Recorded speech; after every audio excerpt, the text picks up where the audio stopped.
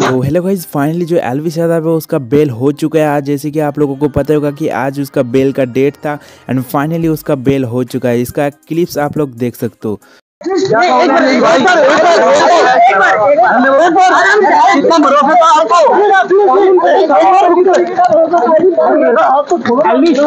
क्या लग रहा है बंद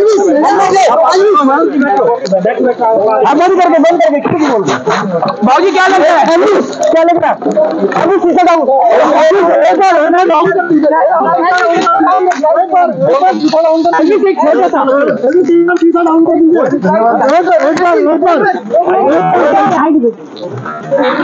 तो गाइज़ जैसे बाहर है उसके बाद काफ़ी सारे यूट्यूबर का रिएक्शन है। चलिए, मैं आपको एक एक करके सभी का रिएक्शन दिखा दे रहा हूँ। मैक्सटन ने इंस्टाग्राम पे एक स्टोरी शेयर किया, जहाँ पर लिखा था डन जैसे कि आप लोग देख सकते हो अनुभव चाल जो एलविस यादव के साथ है जैसे कि आप देख सकते हो भाईचारा।